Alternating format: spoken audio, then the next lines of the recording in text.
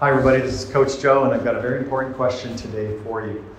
On the topic of microloading versus macroloading, how much load does it take to negatively impact a specific high-speed sport movement? We know the answer, do you?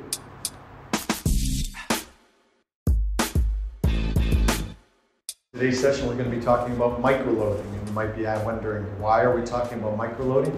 Well, it's a current topic. We're having these conversations every day now and I think it's not just us. Globally, people are looking at small load. And what I mean when I say the word load, just so you understand, is I'm just talking about weight.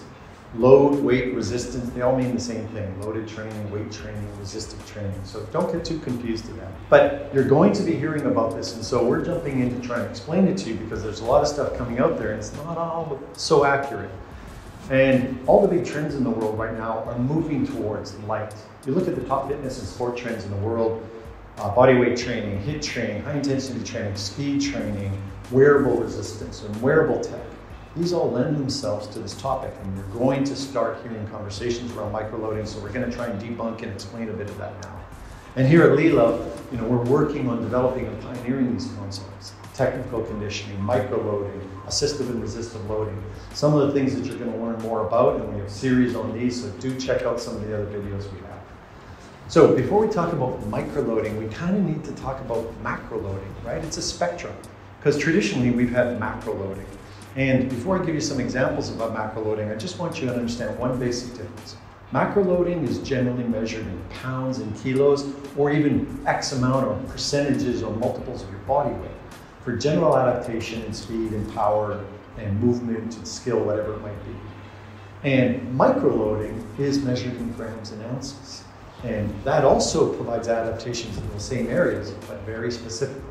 So let's take a look at what macroloading is. So macroloading, you see it all around me here. Here we are at a gym. This was one of our first tools that ended up in the toolbox as a strength coach.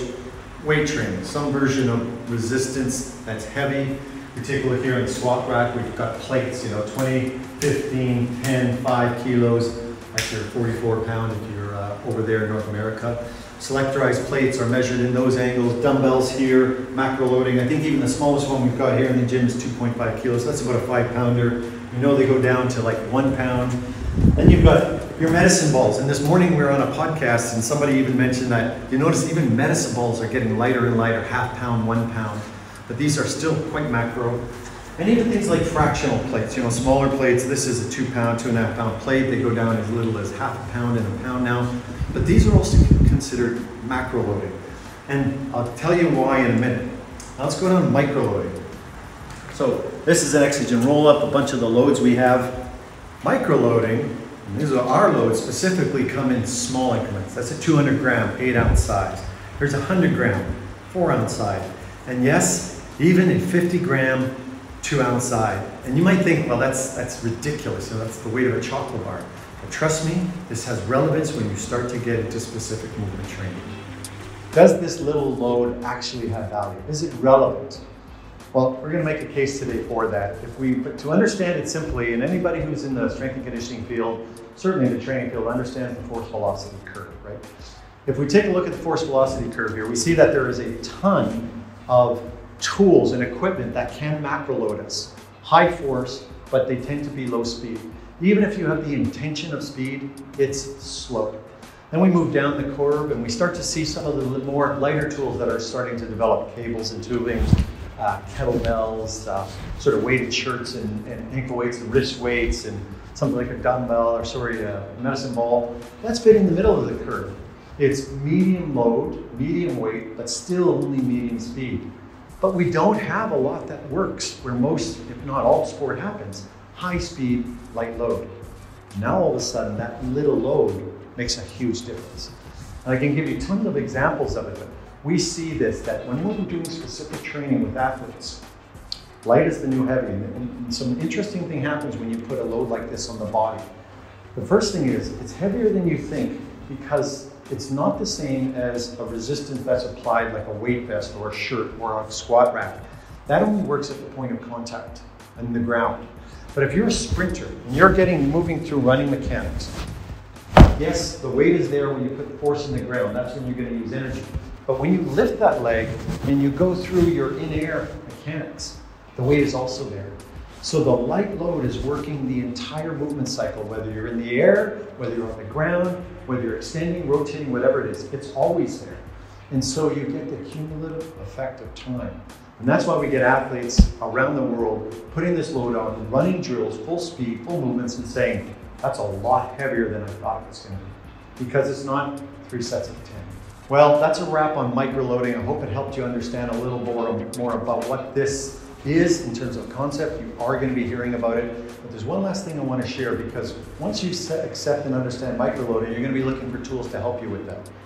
Your tools have to match the way we work. And the standard way a strength coach or a coach or a fitness person works is they follow the laws of periodization.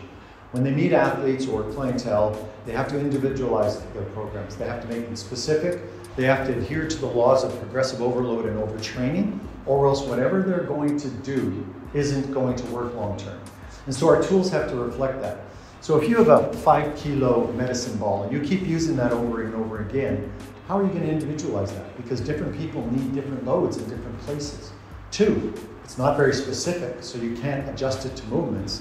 Three, you can't progressively overload that. You can if you go from a one, two, or three kilo medicine ball, but even that increment's too big. And the last one, because you can't do the things I just mentioned, you're not going to address the needs of overtraining. When we designed Exogen, and when you look for your tools, look for something, most importantly, that can be individualized, can work specifically whether you're climbing on a climbing wall, swimming in the pool, or running on the track, because different movements have different needs. And most important, that is progressive.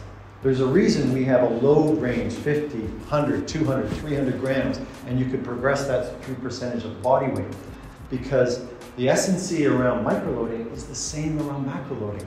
We progress over weeks, we progress over time, we upload, we download, and we allow that cycle to work with the hormonal response you get in general adaptation.